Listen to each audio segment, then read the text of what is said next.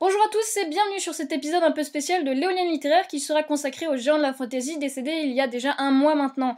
J'ai nommé Sir Terence John David Pratchett. Je tiens à préciser que j'essaierai au maximum de réduire le pourcentage de mauvais accent anglais durant cet exposé. Cela dit, commençons.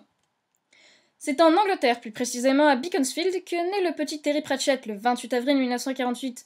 Il allait s'éteindre le jeudi 12 mars 2015 à l'âge de 66 ans.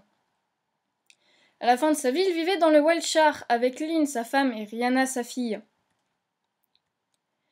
Pratchett publie sa première nouvelle, The Hate Business, qu'on pourrait traduire par Le commerce diabolique, à 13 ans dans le magazine de son école. Elle raconte les malheurs du diable obligé de faire de la publicité et des voyages organisés pour que les bonnes âmes se ruent aux enfers. Publiée dans un magazine de science-fiction pour 14 livres, elle permet à Pratchett de s'acheter une machine à écrire. Concernant l'enfant, Pratchett voulait être astrologue, mais il n'était pas assez doux en mathématiques. Alors au lieu de ça, il va s'intéresser à la science-fiction et participera à des conventions dessus à partir de 1963-1964. Ses premières lectures sont Conan Doyle et Wells, qu'il considère un peu comme des classiques. À 17 ans, il est embauché comme journaliste au journal local Bucks Free Press, où il écrit plusieurs histoires pour la section Le Cercle des enfants. La même année, il publie Le Peuple du Tapis. D'ailleurs, à propos de ce Peuple du Tapis, Pratchett ne va le publier que trois ans plus tard. À 20 ans donc, il interviewe le co-directeur de la maison d'édition Colin Smith, mentionne son roman et Colin Smith le publie avec les propres illustrations de Terry. C'est en 1971. Suivront La face obscure du soleil en 1976 et Stratagème en 1981. En 1981, il quitte le journalisme pour devenir attaché de presse d'une société de centrales nucléaires, Central Electricity Generating Board. Et enfin, à 35 ans, c'est la consécration avec La huitième couleur, roman inaugural du disque monde qui paraît en 1983. Let's Go en effet, dès 1987, Pratchett ne se consacre plus qu'à l'écriture, écrivant environ trois livres par an. Un auteur très prolifique donc, signalant que l'univers du disque monde a généré un fan club, des t-shirts, des jeux de plateau, des conventions, des adaptations télévisées et j'en passe. Concernant Pratchett lui-même, euh, car il pourrait presque être un de ses propres personnages, c'est quelqu'un de très engagé auprès de la fondation des Orang-Outans. Il reçoit en 1998 l'ordre de l'Empire britannique pour service rendu à la littérature. Comme à son habitude, il ne peut pas s'empêcher une petite boutade, je cite Je soupçonne que ces services rendus à la littérature ont consisté à me retenir d'en écrire. Il ajoutera néanmoins qu'il se dit vigoureusement réjoui. Rebelote en 2008 quand il est anobli par la reine et devient Knight Bachelor, obtenant par là même le titre de Sir Terence.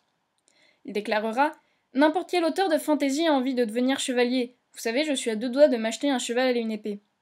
Pour le cheval, il se contentera de ses plantes carnivores, mais pour l'épée, il entreprendra de la fabriquer fin 2009 avec du minerai de fer et quelques morceaux de météorites ferreuses. Mais en 2007, une maladie rare d'Alzheimer se déclare. Pratchett va alors aider de son mieux les recherches sur cette maladie. En 2008, la BBC diffuse un documentaire sur lui, Living with Alzheimer, et en 2011, un deuxième nommé Choosing to Die. Il cesse toute activité à l'été 2014 après avoir terminé ce qui sera son dernier livre, The Shepherd's Crown, qui devrait paraître en septembre 2015 à titre posthume.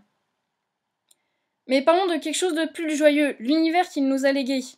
D'un point de vue purement littéraire, il est principalement versé dans la fantaisie et s'est battu toute sa vie à cause de la déconsidération dont est victime ce genre littéraire. Son succès repose principalement sur la parodie qu'elle concerne notre réalité, ou la réalité parfois incohérente d'univers de fantaisie autre, et sur les allusions à ces mêmes réalités.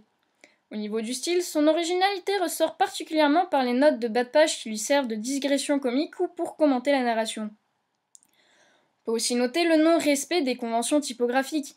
La mort parle en majuscules et sans guillemets, les épiciers d'Ankh-Morpork n'utilisent pas la ponctuation correctement, les golems mettent une majuscule à chaque mot. De même, il ne sépare jamais ses livres en chapitres, sauf lorsqu'ils sont destinés aux enfants. Cela équivaut en effet à lire le bouquin d'une traite, ce que je ne conseille à personne, vu la frustration qui s'ensuit, surtout qu'on n'a pas le suivant sous la main. Enfin, il est une chose à noter, il est vrai que petit à petit, l'œuvre de Pratchett, tout en gardant son humour ineffable, gagne en profondeur et parfois même en noirceur. Pour l'auteur, c'est tout simplement parce qu'elle gagne en réalisme. On aimera, on n'aimera pas, chacun ses goûts. En conclusion, Pratchett c'est plus de 70 bouquins, dont 40 juste pour les annales du disque monde, plus de 65 millions d'exemplaires vendus, un archétype de l'humour britannique et un visionnaire littéraire un chevalier des livres. C'est d'ailleurs sur ce dernier adjectif élogieux et amplement mérité que se clôture cet épisode un peu spécial en hommage au grand Terry Pratchett.